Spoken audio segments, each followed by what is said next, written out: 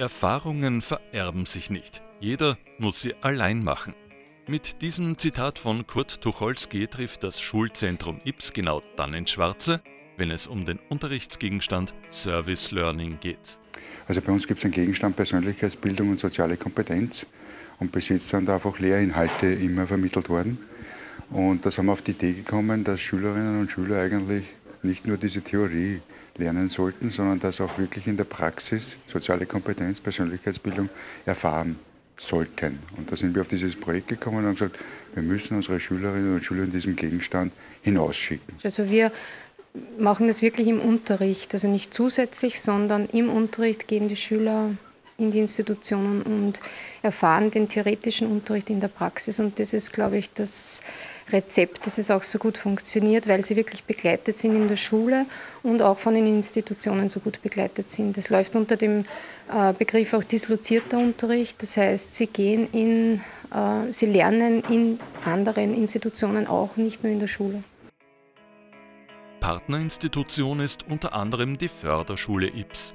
Hier lernen die Schülerinnen und Schüler der Handelsakademie und Handelsschule verantwortungsvolles Engagement. Ja, diese Kooperation gibt es schon zwei Jahre, also heuer das zweite Jahr. Es kommen Schülerinnen und Schüler vom Schulzentrum und begleiten unsere Schüler im Unterricht, in der Klasse, aber auch äh, außerhalb der Klasse. Zum Beispiel, sie lesen mit den äh, Kindern, was sehr, sehr wichtig ist, weil unsere Kinder wirklich persönliche Betreuung äh, dringend nötig haben. Für die Schülerinnen und Schüler heißt das Projekt Verantwortung, bei dem kognitives Lernen mit der Übernahme von Verantwortung im Schulumfeld kombiniert werden.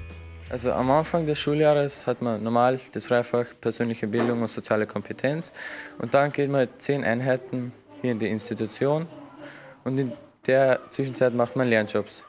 Also man kriegt halt Aufträge und die muss man erfüllen. Wir wirken im Unterricht mit, wir helfen den Betreuerinnen und den Lehrern und integrieren uns auch sehr. Also ich komme hier rein, werde nicht empfangen und helfe den Schülern auch gleich Hausübungen zu machen und ja, halt zu lernen. Oder ihnen Freude bereiten bei einer gemeinsamen Wurzelpartie.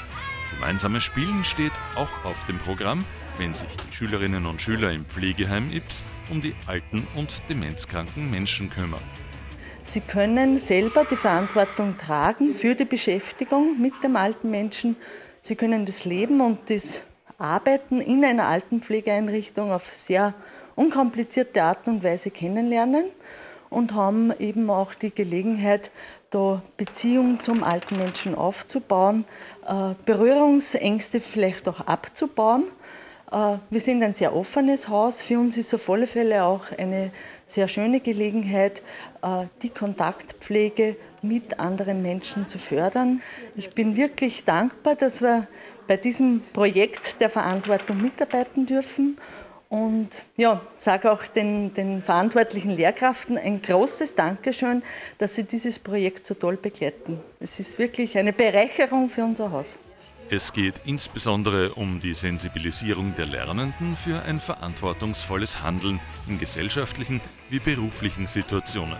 Die spiegeln sich nicht nur in beruflichen Bildungsprozessen wider.